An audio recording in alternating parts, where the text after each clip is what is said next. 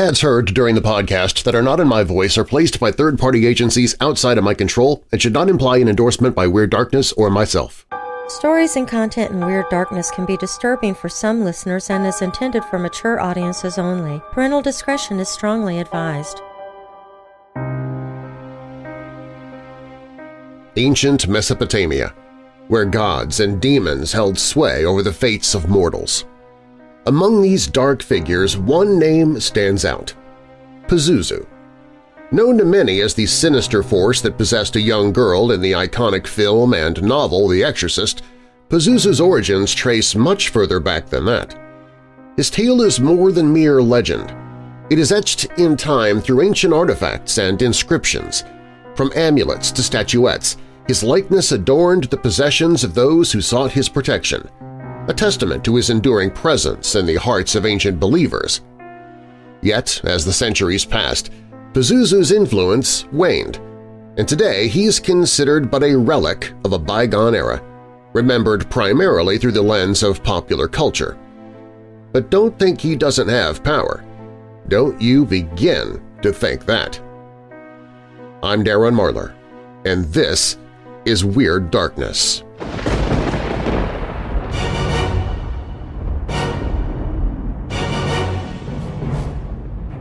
Welcome, Weirdos!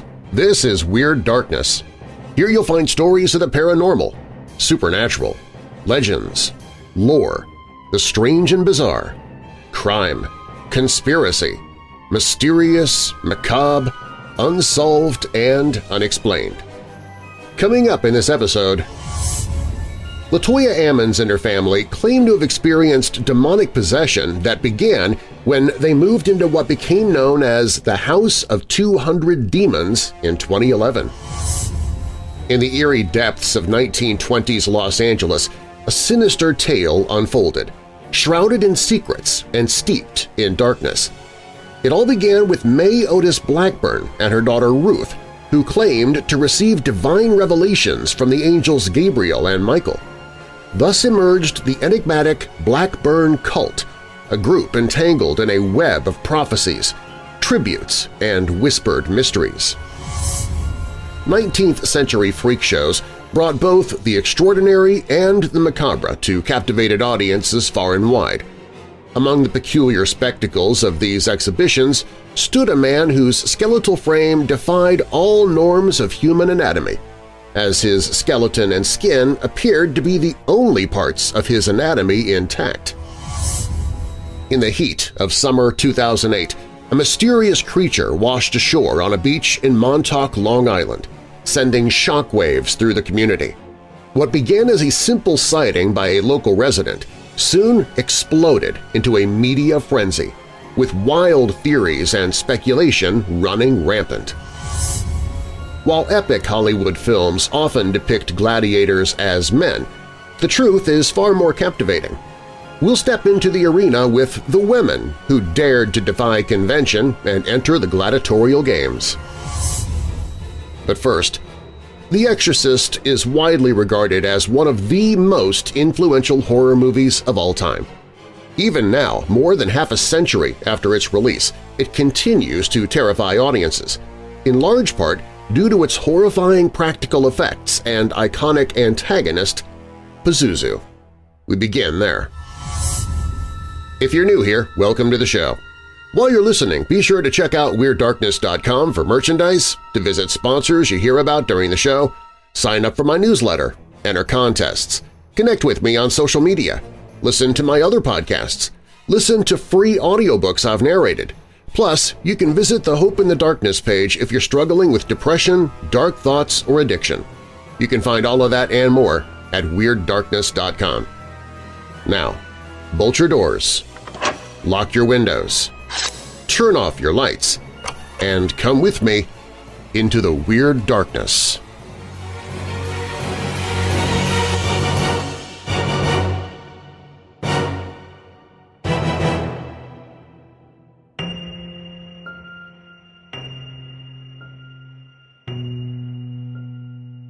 In the film The Exorcist, Pazuzu is a demon who possesses the body of a young girl named Regan, transforming her from an innocent little girl into a foul-mouthed, blistered nightmare who expels green slime from her throat and twists her head a full 180 degrees.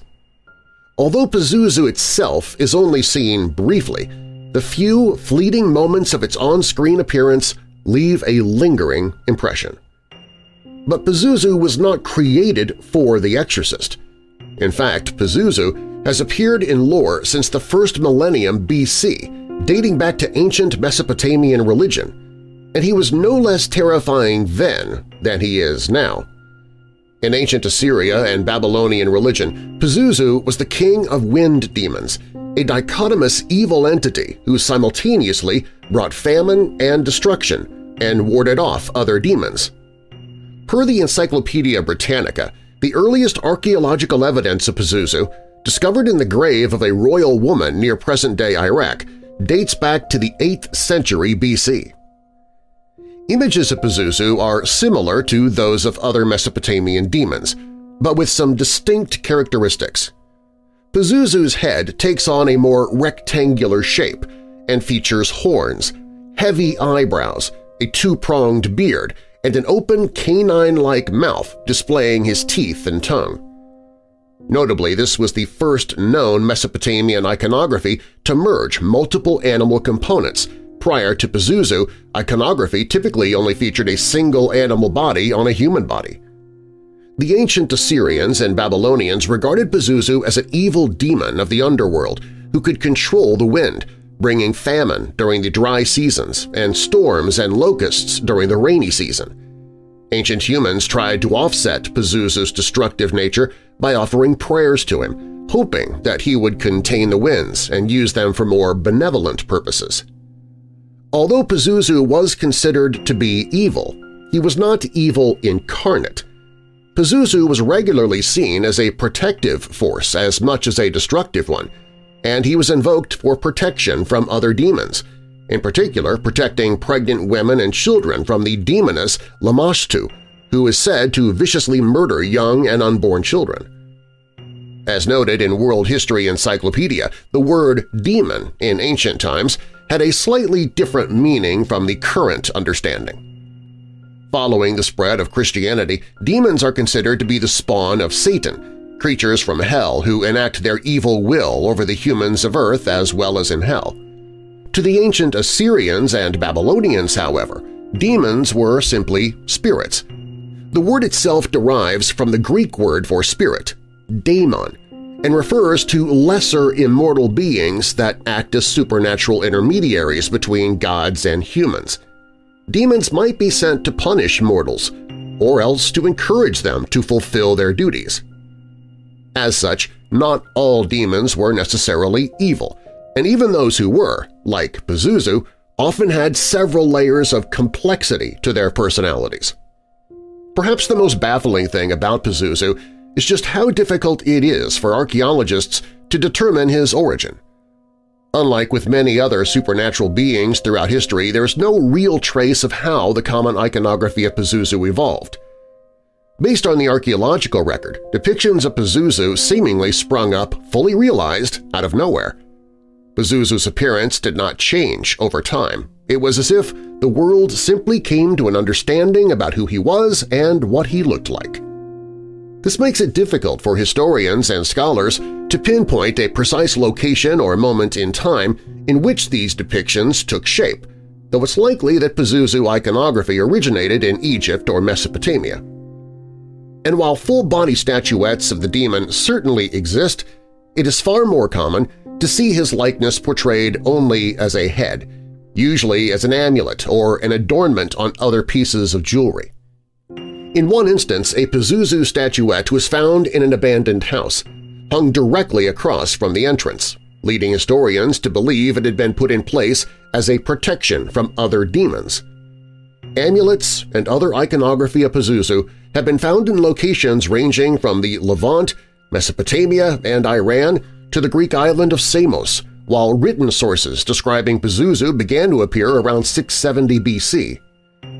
Often these amulets and pieces of jewelry depicting Pazuzu are inscribed on the back with the images of other Mesopotamian deities, usually those considered to be allies of humans.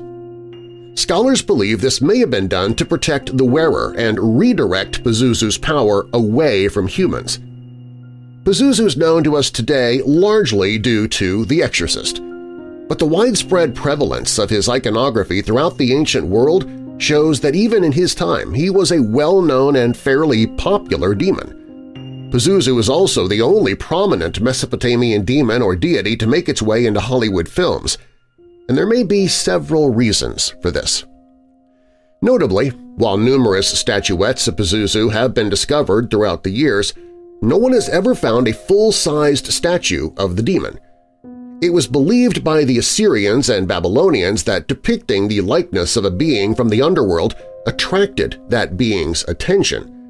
Because of this, few likenesses of other demons, such as Ereshkigal, the Queen of the Dead, were ever even made. Moreover, the size of the image also determined the amount of power it contained. The Mesopotamians believed that the small statuettes and charms depicting Pazuzu drew small amounts of his power to protect them, as they were honoring him by wearing the protective charm, and that when invoked, he would direct that power at those who had not invoked him. Pazuzu's status as a protector likely contributed to the widespread circulation of his iconography, and, subsequently, his modern-day prominence. But that still doesn't fully explain why other Mesopotamian demons didn't weather the course of time to the same degree. The simplest answer is also the most obvious – Christianity. As Christianity swept across the world, the devout no longer had a need for protective demons, and Christians naturally wanted belief in the old ways to disappear in favor of their new monotheistic religion. Demons of the old faith were relegated to hell. After all, anything from the underworld had no place in the holy world of heaven. In fact, the New Testament frequently saw Jesus Christ driving demons back to hell, and that has been echoed throughout time in various forms of media, including, of course, The Exorcist, in which a priest invokes the Bible to drive the demon Pazuzu back to hell.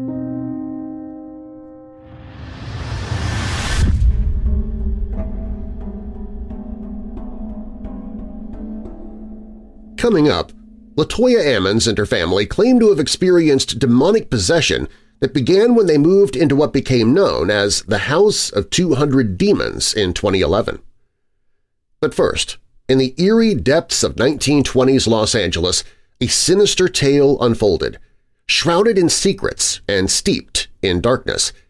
It all began with May Otis Blackburn and her daughter Ruth who claimed to receive divine revelations from the angels Gabriel and Michael. Thus emerged the enigmatic Blackburn cult, a group entangled in a web of prophecies, tributes, and whispered mysteries. That story is up next.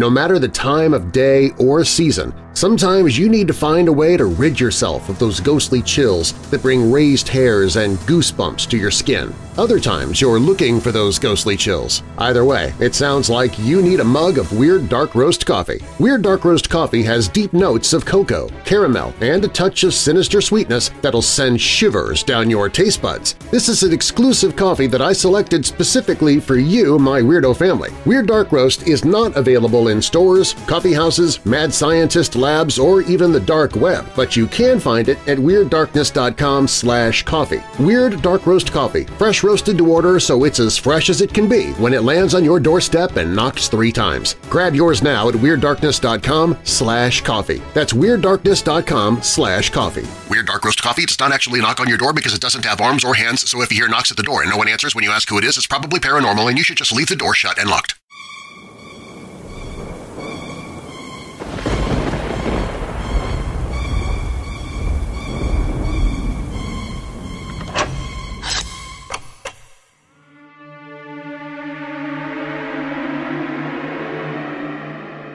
On October 7, 1929, the body of a 16-year-old girl named Willa Rhodes was found buried beneath her adopted parents' home in Los Angeles.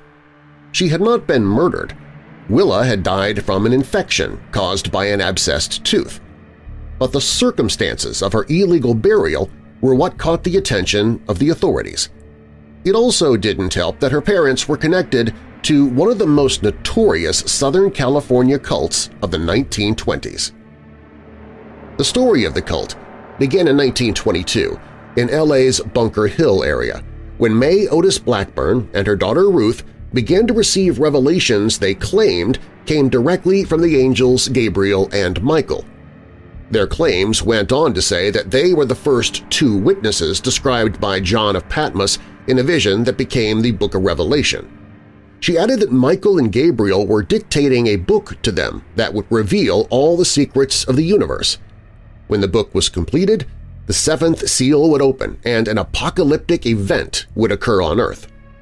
The book would be called The Seventh Trumpet of Gabriel, although May later changed it to the slightly different The Great Sixth Seal.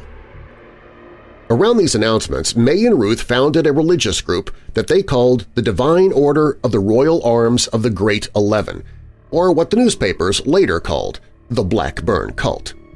The Great Eleven referred to a proclamation by May that, after the apocalypse, the world that remained would be ruled by eleven queens from mansions located on Olive Hill in Hollywood. Believe it or not, this nuttiness attracted a lot of people – May and Ruth gathered many followers and demanded tributes of money and property from them so that they could finance and continue their great work. While the book that was supposed to have been the Sixth Great Seal was never published, May did eventually publish a book called The Origin of God in 1936. It contained some of the elements of her early revelations. However, by the time the book came out, the Blackburn cult had spun out of control – plagued by rumors of strange happenings and mysterious deaths. Weird claims and accusations involved sex scandals, animal sacrifices, whirling dervish ceremonies, and the story that a member of the cult named Frances Turner, who was paralyzed, was placed in a sort of homemade oven for two days resulting in her death. And then there were the disappearances. Several cult members were said to have mysteriously vanished, including Samuel Rizzio, who was married to Ruth Blackburn. He went missing right after allegedly striking his wife and was never heard from again. Some claimed that May had poisoned him, but whatever happened, his body was never found. But perhaps the strangest story associated with the Blackburn cult was the attempted resurrection of Willa Rhodes. Willa died in 1926 from an infection, but May and Ruth promised her parents, Mr. and Mrs. William Rhodes, that she could bring their daughter back to life. Willa's body was mummified with ice, salt, and spices and buried under the floorboards of their home with the bodies of seven dogs, sacrificed to represent the seven tones of the angel Gabriel's trumpet and ensure the resurrection. Not surprisingly, it didn't happen. It took three years, but Mr. and Mrs. Rhodes eventually lost faith in the Blackburns and had Willa's body removed. The police were called when the exhumation occurred, and Willa's body was taken to the medical examiner for an autopsy. It was discovered that her death had been a natural one, and no charges were pursued against the Rhodes family or the Blackburns. What ultimately landed May Otis Blackburn behind bars, albeit briefly, had nothing to do with dead bodies or resurrections. In 1929, Clifford Dabney, a former member of the cult, charged May with defrauding him of $50,000 that he had given her to help her write her book. The district attorney started an investigation, uncovering additional fraud claims from Blackburn's other followers and discovered that she had bilked them of more than $200,000. Ultimately, May was convicted of eight counts of grand theft, she appealed the ruling which found its way before the California Supreme Court in 1931. The higher court overturned the original verdict on the grounds that the evidence relating to the cult's bizarre activities had no bearing on the charges of grand theft and that it was impossible to prove whether May had in fact taken the money in bad faith. May was released after appealing her case in 1931, but the Divine Order of the Royal Arms of the Great Eleven was effectively finished. She did go on to publish The Origin of God in 1936, but by then her followers had abandoned her. She died in Los Angeles in 1951. A footnote in the bizarre history of Southern California.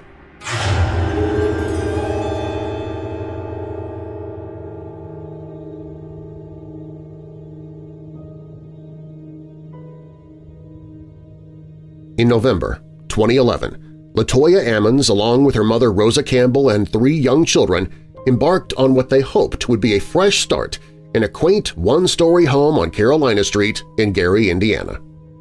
Little did they know their new abode would become the center of chilling events that would shake their beliefs and test their sanity. The first ominous sign came in the form of a swarm of black flies that descended upon their screened-in porch in the dead of winter. Despite their efforts to rid themselves of the pests, the flies kept returning, a harbinger of the strange events to come. The true terror began one night in March 2012. At around 2 a.m., Ammons and her family were jolted awake by the piercing screams of her 12-year-old daughter. Rushing to her room, they were confronted with a sight straight out of a nightmare. The young girl was levitating above her bed, unconscious and seemingly under the influence of some malevolent force. This incident marked the beginning of a series of inexplicable and horrifying occurrences that would plague the family. They reported hearing phantom footsteps, discovering mysterious wet boot prints, and witnessing shadowy figures prowling throughout their home. Desperate for answers, Ammons and Campbell sought the assistance of clergy members and performed rituals to cleanse their home of the evil spirits. However, the sinister presence only seemed to grow stronger, targeting the children with increasingly disturbing manifestations. Their plight caught the attention of local authorities and medical professionals, who were initially skeptical of their claims. Yet their doubts were dismissed when they witnessed firsthand the inexplicable phenomena occurring within the walls of the Carolina Street home. Reports surfaced of the children speaking in unearthly voices, exhibiting superhuman strength, and defying the laws of physics. These chilling accounts sent shockwaves throughout the community, prompting an investigation by the Department of Child Services and eventually garnering national media attention. As the scrutiny intensified, so too did the intensity of the haunting. The family found themselves caught in a nightmarish cycle of fear and uncertainty, unsure if they would ever find respite from the relentless onslaught of supernatural activity. In a desperate bid to reclaim their lives, Ammons and her children underwent multiple exorcisms, performed by Reverend Michael Maginot in a final attempt to banish the evil that had taken hold of their home. And, miraculously, it worked the dark cloud that had loomed over Carolina Street lifted, allowing the family to finally break free from its sinister grip. In 2014, Ghost Adventures host Zak Bagans paid $35,000 for the home in Gary, Indiana, then had it demolished two years later. But the chilling, bizarre mystery surrounding the structure continues to live on despite its destruction. Something was inside that house that had the ability to do things that I have never seen before. Things that others carrying the highest form of credibility couldn't explain either, Bagans told the Indy Star in 2016. There was something there that was very dark yet highly intelligent and powerful. Today, the house on Carolina Street stands no more, but its story continues to send chills down the spines of those who hear and believe it – and for Latoya Ammons and her family, the harrowing ordeal served as a stark reminder that some mysteries are best left behind you. As they reflect on their ordeal, they offer a word of caution to those who would dismiss their story as mere fantasy, saying, when you hear something like this, don't assume it's not real because I've lived it. I know it's real.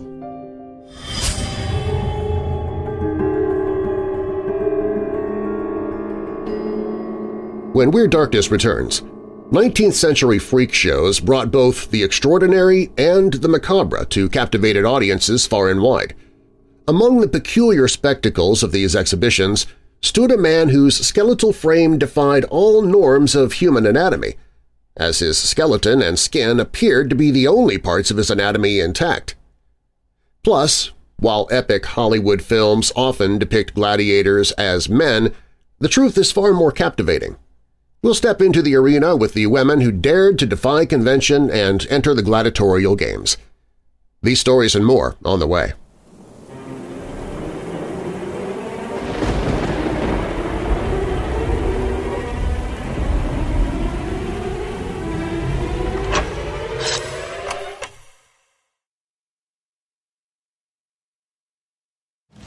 When Salem Roanoke took a job near his family's new home as a hired hand in the Texas Hill Country, he anticipated learning the rancher's trade, but a series of strange events, shocking murders, and unholy revelations divert him down another path. This terrifying trajectory puts him directly into the middle of a struggle between monsters, magic, and men, Armed and backed by a militia of ranchers, Salem attempts to combat the creeping tide of evil that threatens to engulf his new home and destroy the people most important to him. Will Salem manage to save his home, or have his actions condemn everyone he hopes to save? The Witch Trials, A Summer of Wolves and Season of the Witch by S.R. Roanoke, Available in paperback, Kindle, and audiobook versions. Look for The Witch Trials by S.R. Roanoke on Amazon or find it on the audiobooks page at WeirdDarkness.com. That's WeirdDarkness.com slash audiobooks.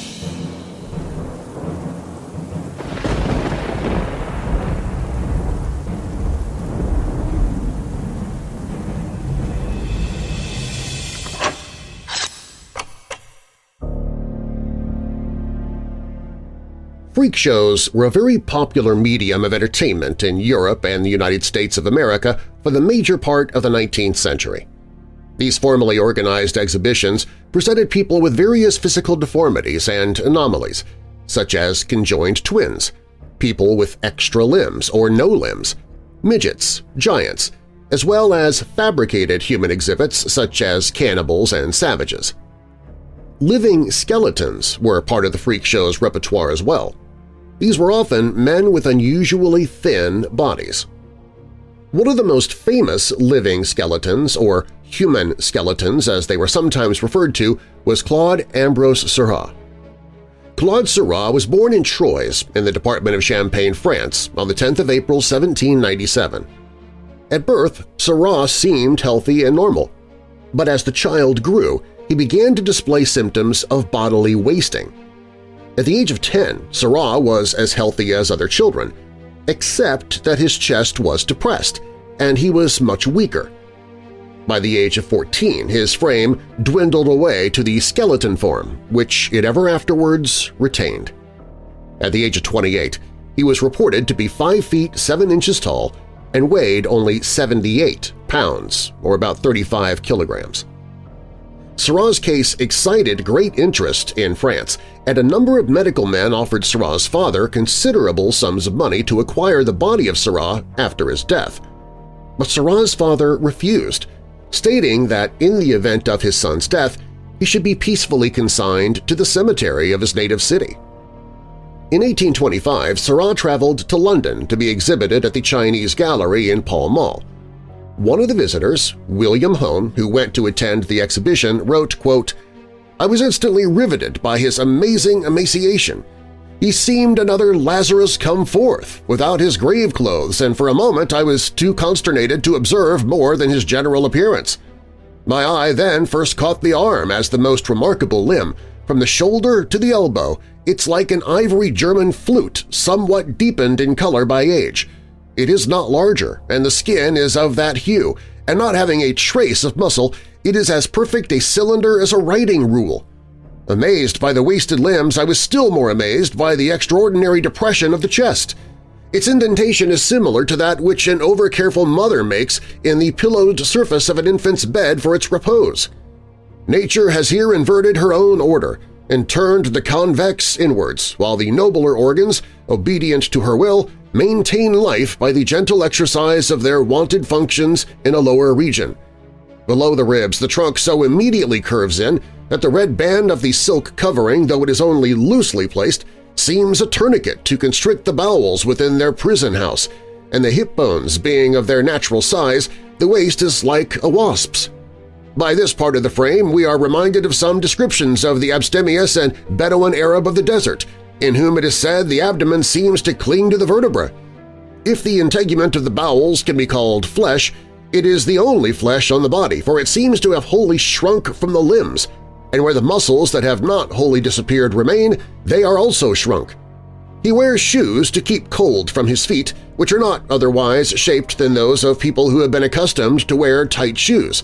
His instep is good, and by no means so flat as in the generality of tavern waiters. His legs are not more ill-shaped than in extremely thin or much-wasted persons. The right leg, which is somewhat larger than the left, is not less than were the legs of the late Mr. Suett the comedian." Unquote. Contemporary physicians regarded Seurat as a case of markhors, an early obliteration of the lacteal vessels and mesenteric glands. Richard Park, a senior registrar in the gastroenterology and general medicine in Glasgow Royal Infirmary, suggests that there is little evidence of malabsorption, and the emaciation was likely caused by inadequate oral intake of food. Seurat's daily intake of food amounted to a penny roll and small quantities of wine due to dysphagia, which is evident from a description of Seurat by William Hone, saying, quote, In eating, he masticates his victuals very much, taking small pieces as the passage to the stomach would not admit of any great repletion, and in drinking the same precaution is required. Otherwise, suffocation would ensue, a slight impediment to his swallowing with dispatch of such morsels are not cut very small." Unquote. Seurat also suffered from a number of congenital deformities, such as Sprengel's deformity, which was first identified in 1891, 66 years after Seurat's exhibition in London. Park believes that Seurat may have been the earliest recorded case of Sprengel's deformity. Seurat may also have had Klippel-Feil syndrome, a triad of short neck, low posterior hairline, and reduced neck movements. A year after his exhibition in Britain, Seurat went back to France where he became part of a traveling circus that arrived in Bordeaux in 1826. His last recorded performance was in 1833 at Dinan in Brittany, after which Seurat disappeared from the public eye. Nobody knew where he went, but it was rumored that he went back to London, where he died, after which Sir Astley Cooper performed the necropsy. Seurat's skeleton was allegedly placed in the museum at the Royal College of Surgeons in London, although there are no records of Sir Astley Cooper's findings, nor of Seurat's skeleton in the College Museum.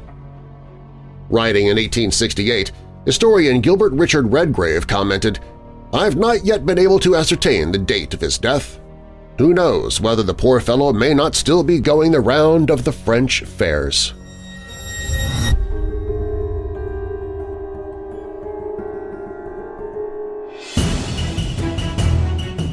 It may all have started when female sword fighters performed funerals in the very early days of Rome. There may also be some connection between women participating in chariot racing and women gladiators. The Greek Heraean Games were pivotal.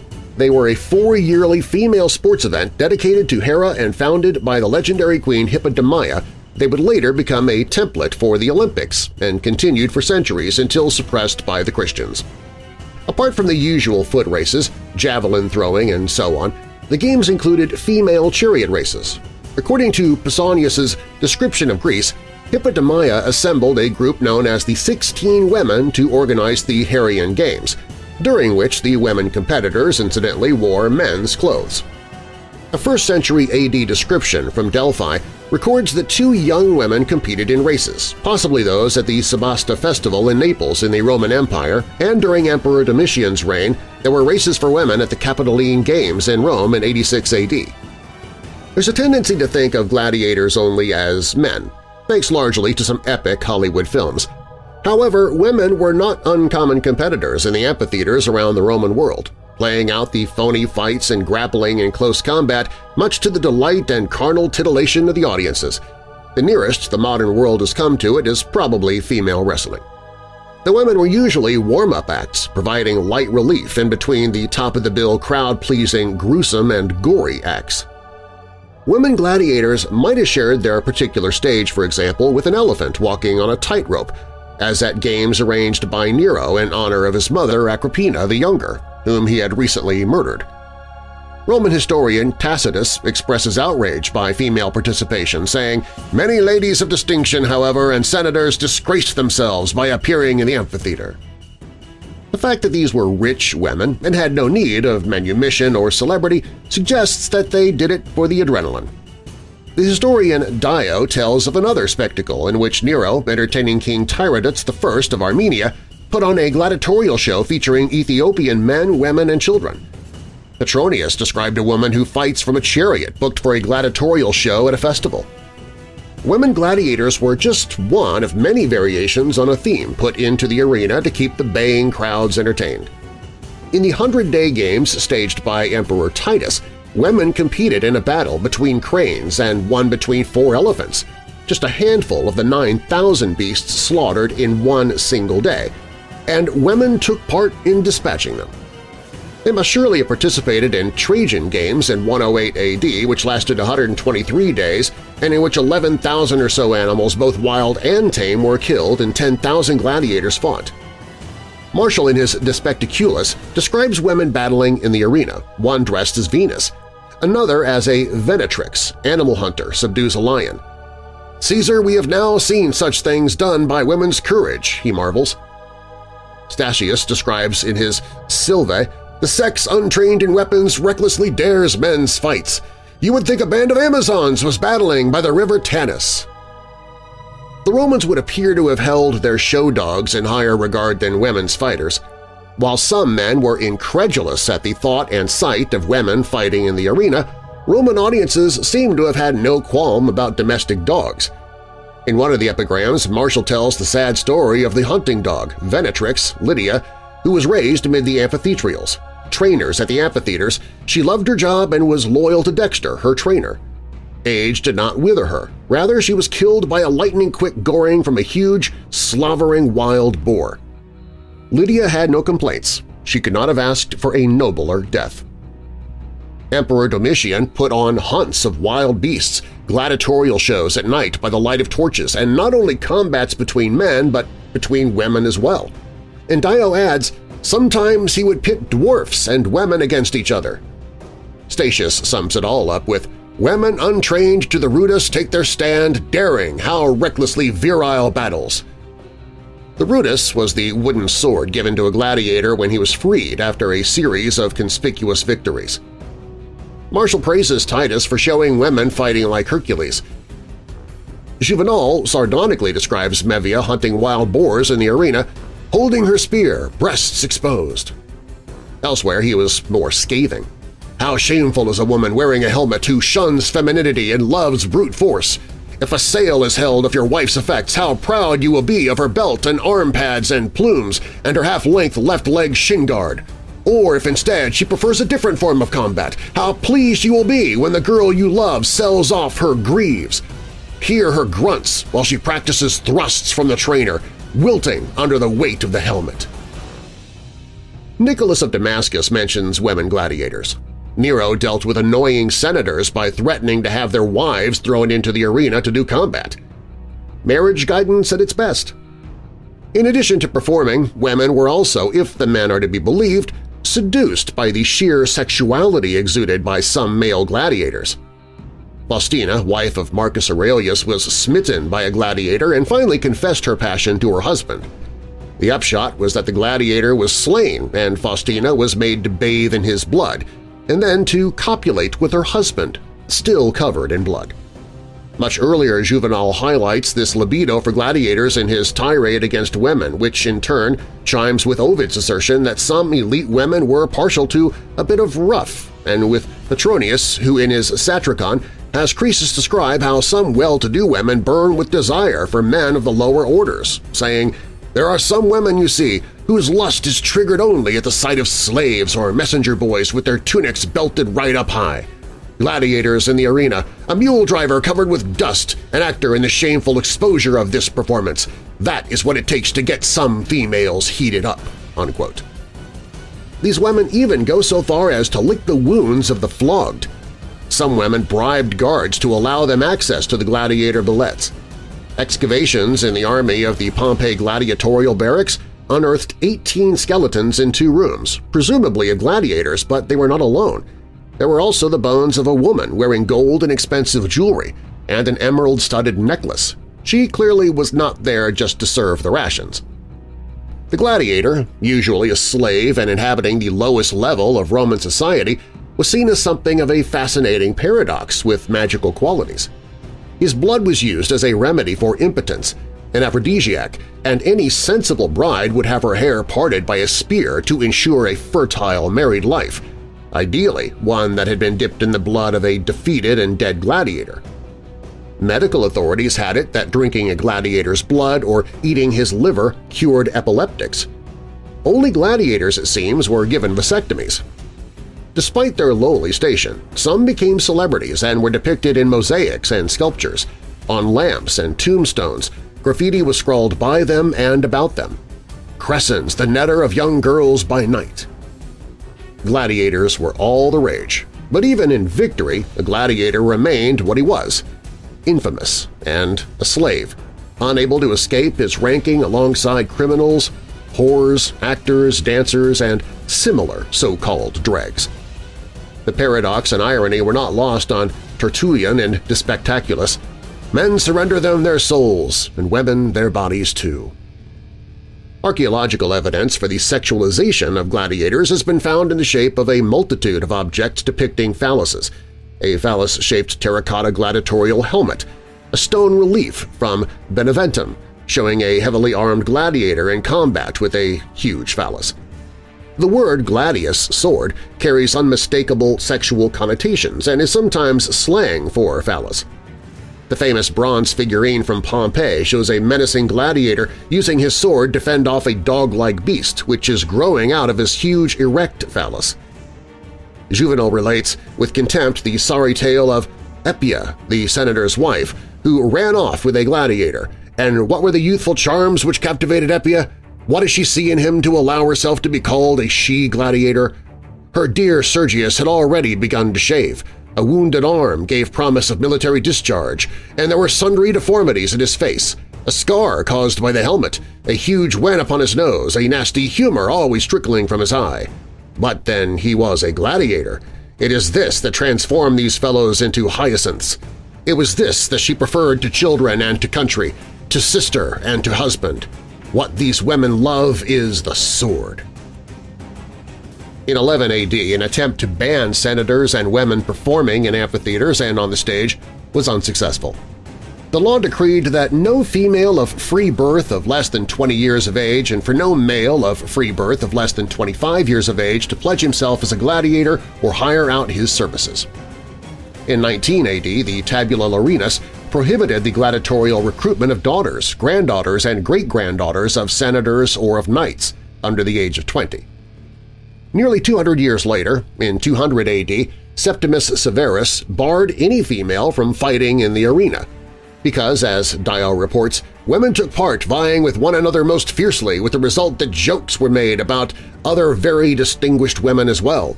Therefore, it was henceforth forbidden for any freeborn woman, no matter what her origin, to fight in single combat. This came about after Severus's visit to the Antiochian Olympic Games, where he would have seen traditional Greek female athletics. His attempt to impress the mob in Rome with a similar extravaganza was met with derision from the crowds in the Colosseum.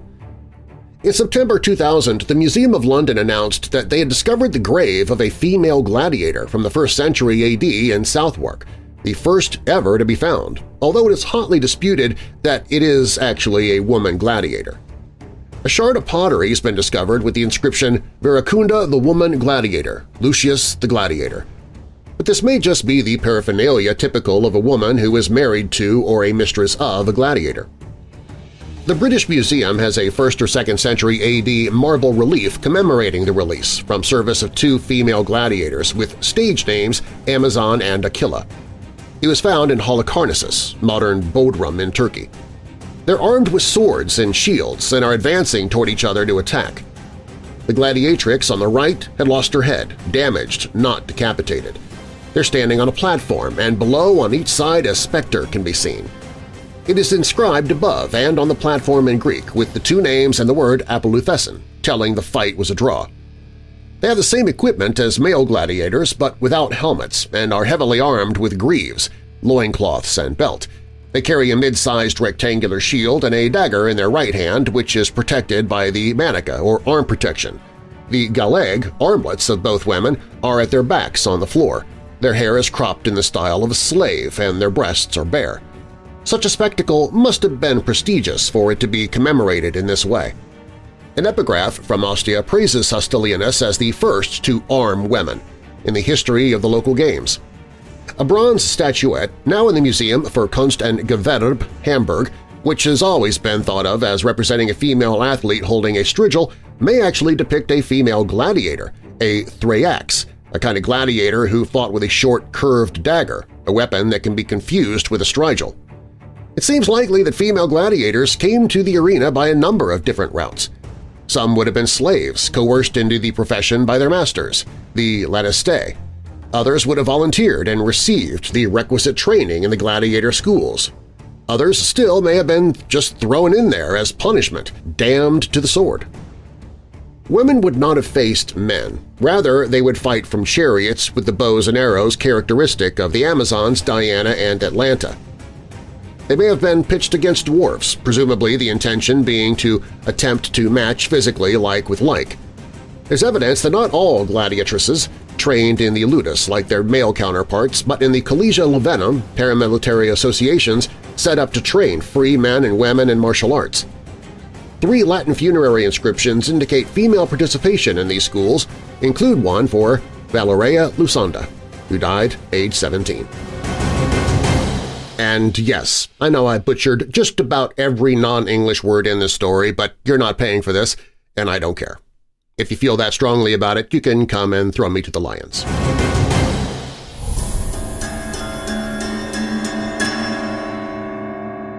Up next on Weird Darkness, in the heat of summer 2008, a mysterious creature washed ashore on a beach in Montauk, Long Island, sending shockwaves through the community. What began as a simple sighting by a local resident soon exploded into a media frenzy, with wild theories and speculation running rampant.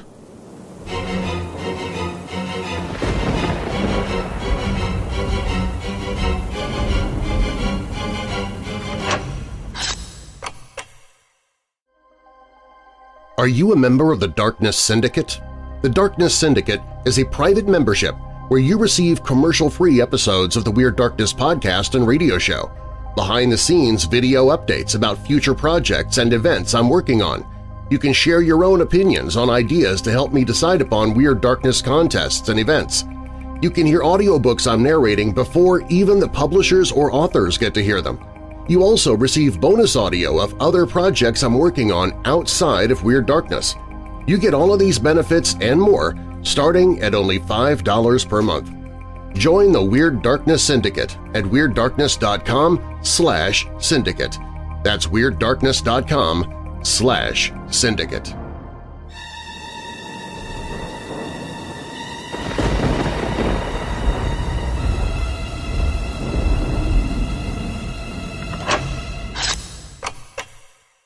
The following was written and posted by The Ghost in My Machine, which you can find at theghostinmymachine.com.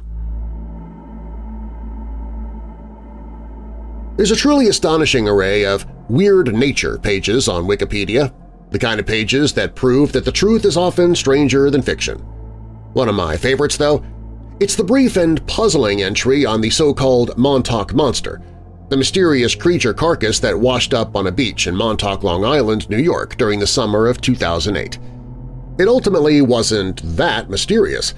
There are numerous reasonable explanations for what exactly the thing may have been, and no evidence at all to suggest that it was anything other than what those reasonable explanations suggested. But for about a month in 2008, folks couldn't get enough of this strange story and the many outlandish theories floating around about it. The paper trail for the story begins July 23, 2008, although the story itself, allegedly at least, began some 11 days earlier on July 12th, a Saturday for the curious. That day, Montauk resident Jenna Hewitt, then 26 years old, and a handful of friends reportedly spotted the beached creature as they were searching for a place to sit down on Ditch Plains Beach. One of the group had brought a digital camera, Hewitt said, which she borrowed in order to snap a few pictures. She wouldn't learn about Hewitt and her friends until a bit later, though. On July 23rd, the story that ran in the print edition of the East Hampton Independent The first outlet to publish anything about the creature simply stated in glorious, intentionally overwrought prose that residents feared the worst when a malformed carcass washed up on the beach at Ditch Plains in Montauk, fomenting all manner of speculation and, and terror, not to mention revulsion." Unquote. A photograph accompanied the piece, printed in black and white and captioned with the following, This was found on the beach in Montauk last week. Can you say ew? The piece, which is very funny by the way, floated a handful of speculations about what the creature could have been, from the fanciful Satan to the substantially more likely, a raccoon that had degraded due to, you know, being in the water for so long, per Larry Penny, Director of Natural Resources for the town of East Hampton. But it wasn't a long nor a particularly in-depth one, and that probably would have been that, if it weren't for Gawker. I'm talking about old Gawker here, the one that shuttered in 2016, not the later iteration. Full disclosure, I used to work for BDG, which purchased Gawker at auction in 2018 and relaunched it in 2021. I was long gone by the time the relaunch happened, though, so I have no insight into the inner workings of Gawker 2.0, which has also been shuttered as of February 2023, so there's that. At the time, the site was only around five years old and new media was in its post-random stuff with maybe a paragraph of description and call it a day phase. And that is exactly what Gawker did when the photograph of the strange creature ended up in their inbox. They read a very short piece consisting only of the image and a short paragraph under the headline Dead Monster Washes Ashore in Montauk on July 29th. It was filed under the tag Good Luck with Your Hell Demons. Gawker may still have been in its early years, but it had a major reach even then, and as a result of the site's quick take on the beached Montauk creature, the story spread far and wide. A wide array of both local and national outlets picked it up, as did blogger after blogger, in fact, following Gawker's use of the word monster to describe the creature, one such blogger coined the name by which it's now known. On July 29th, cryptozoologist Loren Coleman concluded his short post at the Cryptomundo blog with the sentence, For now, it remains the Montauk Monster. The name stuck. It was around this time that Jenna Hewitt entered the picture, in a piece published on July 31st at Newsday, which primarily serves the Long Island counties Nassau and Suffolk, where Montauk itself is located, she recounted her tale of spotting and photographing the Montauk Monster. We didn't know what it was, she told the outlet. We joked that maybe it was something from Plum Island. The picture, it seemed, the one that had taken the internet by storm, was hers. She confirmed this to be the case in an interview that aired on local Hampton's program The Juice on August 1st. By Plum Island, by the way, she meant Plum Island Animal Disease Center, a federal research facility located on the titular island in Gardiner's Bay, not too far away from Montauk itself.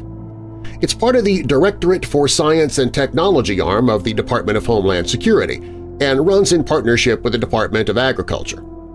The reason Hewitt joked about it is because of what it studies – livestock, specifically foreign animal diseases in livestock – the implication in Hewitt's comment was that the creature could have been a test subject from Plum Island, or perhaps an experiment, one that had gone wrong, a little bit sideways.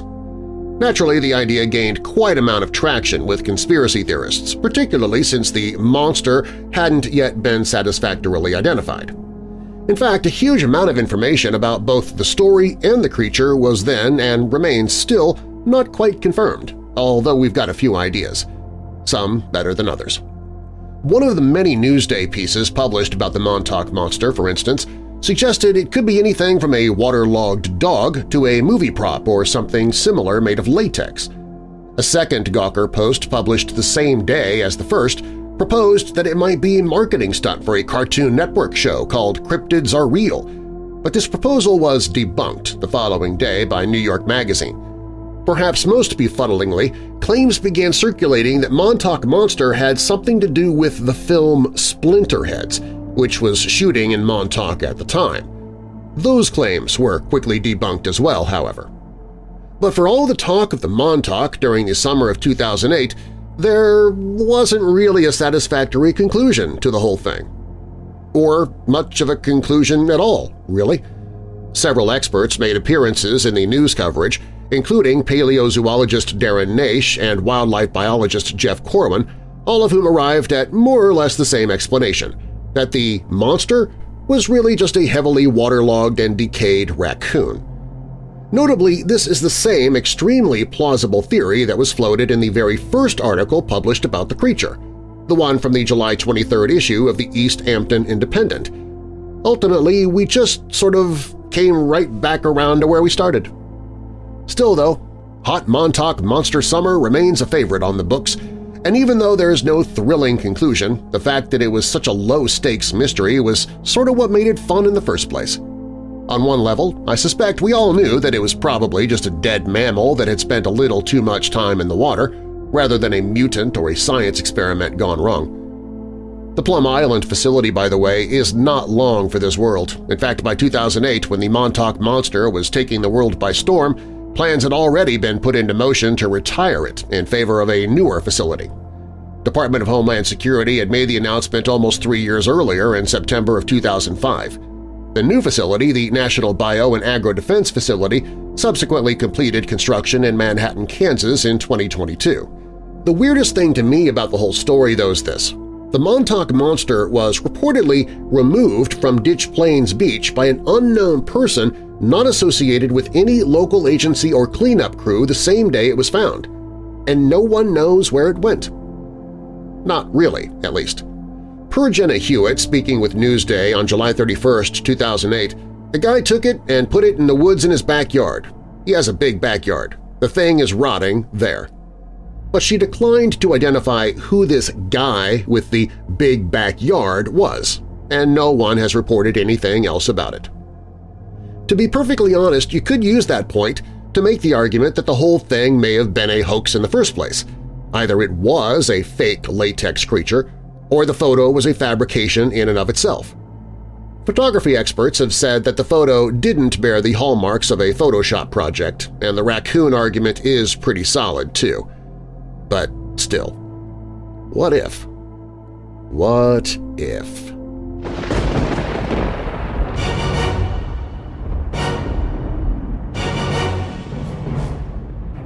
Thanks for listening, and be sure to stick around for the bloopers at the end. If you like the show, please share it with someone you know who loves the paranormal or strange stories, true crime, monsters, or unsolved mysteries like you do. You can email me and follow me on social media through the Weird Darkness website. WeirdDarkness.com is also where you can find information on sponsors you heard about during the show, listen to free audiobooks I've narrated, get the email newsletter, find my other podcasts, also on the site, you can visit the store for Weird Darkness t-shirts, mugs, and other merchandise. Plus, it's where you can find the Hope in the Darkness page if you or someone you know is struggling with depression, addiction, or thoughts of harming yourself or others. And if you have a true paranormal or creepy tale to tell of your own, you can click on Tell Your Story. You can find all of that and more at WeirdDarkness.com. All stories on Weird Darkness are purported to be true unless stated otherwise, and you can find links to the stories or the authors in the show notes. Pazuzu, the demon the exorcist made famous, is by Austin Harvey for all that's interesting. The Blackburn Cult is by Troy Taylor from his book Taking Up Serpents, American Cults, Messiahs, and Madmen. The Haunting on Carolina Street is a conglomeration of several articles I found and I've linked to all of them in the show notes. Seurat, the Living Skeleton is by Kaushik Patowary for Amusing Planet. Gladiators of the Fairer Sex is by Paul Chrystal for Ancient Origins, and he probably knows better than me how to pronounce some of those names. Hot Montauk Summer is by theghostinmymachine.com. Weird Darkness is a registered trademark. Copyright Weird Darkness. And now that we're coming out of the dark, I'll leave you with a little light. Proverbs 10 verse 7, The memory of the righteous will be a blessing, but the name of the wicked will rot.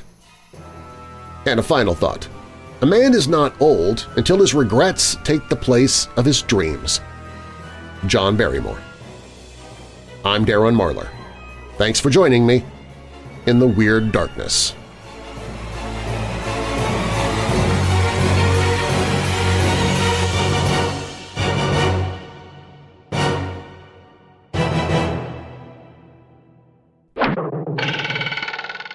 What began as a simple sighting by a local resident soon explore, exploded by a local resident exploded If you're new here, welcome to the show. While you're listening, be uh, uh, uh, because of this, few likenesses of other demons, such as Ereshkigal, the queen of the dead, were, were even made. Am I even saying Ereshkigal correctly? That is a weird-looking word. That began when they moved into what became demonic possession. That began when they uh, when they possession. Let's stumble over the easy words today, shall we? Richard Park, a senior registrar in gastroentero gastro gastroentero gastroenterology. Richard Park, a senior registrar in gastroenterology and general medicine in Glasgow Royal Hood for Glass Glass I don't know what it is, Glasgow or Glasgow. Every time I see the word, I want to say it one way and it's always wrong. She studied at Sheffield Hallam University and at the Glasgow School of Art. Go. It's, it's a long O sound. I don't know why I can never remember that.